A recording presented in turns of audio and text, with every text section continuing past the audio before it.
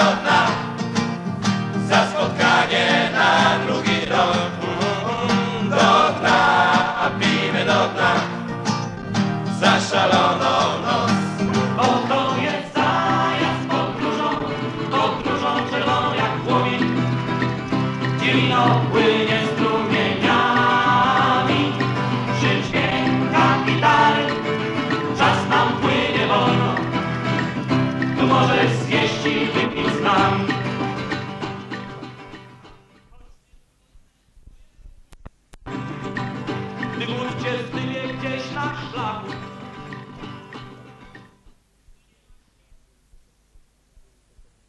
ogół to, co powiedziałem. Zbliża się nowy rok akademicki. Co sobie obiecujesz po tym nowym roku? Należy obiecywać sobie wielu zmian. Przede wszystkim materialnych, ze względu na to, że nie wiadomo, co będzie teraz ze stypendium socjalnym. A Jeżeli chodzi o studia, to wydaje mi się, że chyba nic się nie zmieni. Mam nadzieję, że egzaminy będą troszeczkę łatwiejsze. A jakieś marzenia? No, jeżeli chodzi o marzenia, to y, przede wszystkim własny dom, no może samochód, własny, własny kąt, bo mimo mieszkania roku w akademiku trudno się do, do tego życia przystosować, a y, życie w własnym mieszkaniu, nawet najmniejszym, to y, jest podstawa życia. Życie właściwie w akademiku jest y, o tyle trudne, że trudno się odizolować od y, ludzi, no, oczywiście przyjaciół i znajomych można mieć mnóstwo, ale czasami człowiek chce być sam. No a wydaje mi się, że właśnie y, powinno się żyć tak, jak się chce, a nie jak się musi. moje marzenia. Myślę, że sytuacja ekonomiczna i polityczna w kraju unormuje się. Ta dominacja Kościoła, która w ostatnim okresie czasu daje nam wszystkim znać i wszystkich bulwersuje, w jakiś sposób zostanie ukrócona.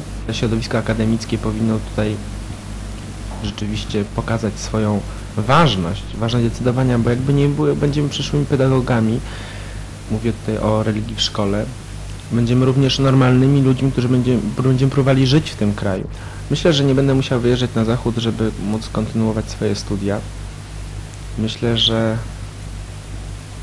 nie będę musiał również podejmować pracy, żeby móc utrzymać się na nich. W tym momencie nasuwa mi się jeszcze jedna myśl. Po skończeniu studiów mam nadzieję właśnie, że w tym nowym roku szkolnym wszyscy absolwenci będą mogli spokojnie podjąć pracę za duże pieniądze, pieniądze warte ich wysiłku, pięcioletniego wysiłku. Nieważne, czy to była pedagogika, nieważne, czy to była matematyka, czy biologia.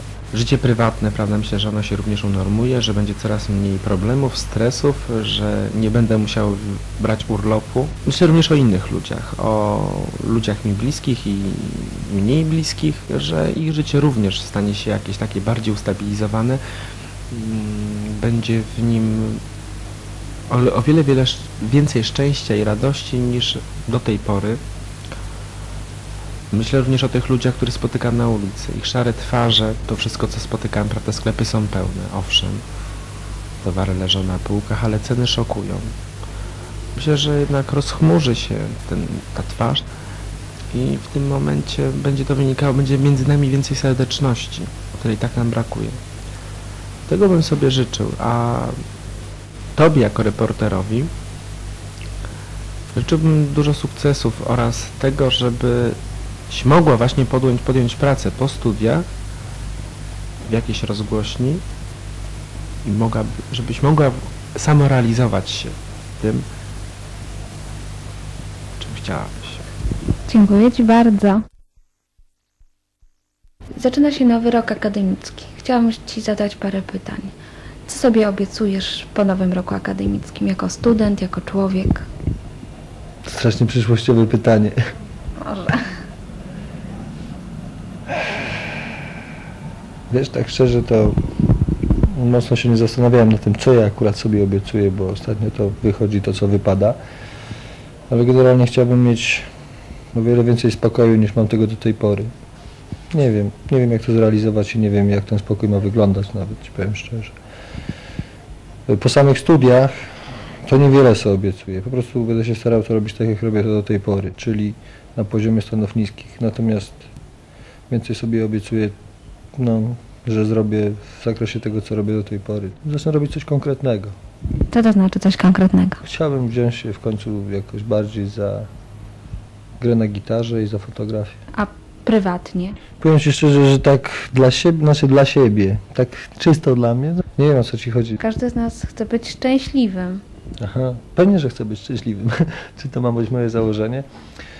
To znaczy chcę to szczęście w jakiś sposób wypełniać, a, a to wiem, że to szczęście uzyskam tylko dzięki temu spokojowi, jaki bym w końcu osiągnął. To znaczy przede wszystkim dobrym układom z ludźmi, to znaczy układom, dobrym stosunkom z ludźmi, wiesz. Ale to jest bardzo trudne w takim wielkim skupisku ludzkim, jak tu jest. Wiesz, jak jednemu się będzie chciało dogodzić, to drugiemu się przeszkodzi, a później wie, człowiek dochodzi do konkluzji, że chyba lepiej nic nie robić dla żadnego z ludzi, wiesz. To już- niekoniecznie. To już jest filozofia, nie, nie będziemy teraz rozmawiać tak chyba. No świetnie. No jeżeli tak filozofia, to, to znaczy, że dużo myślisz, tak? Masz jakieś przemyślenia. Myślisz? No, wydaje mi się, że myślę nad tym, jak mam postępować. A ostatnio to nawet bardzo dużo, szczególnie przez te wakacje.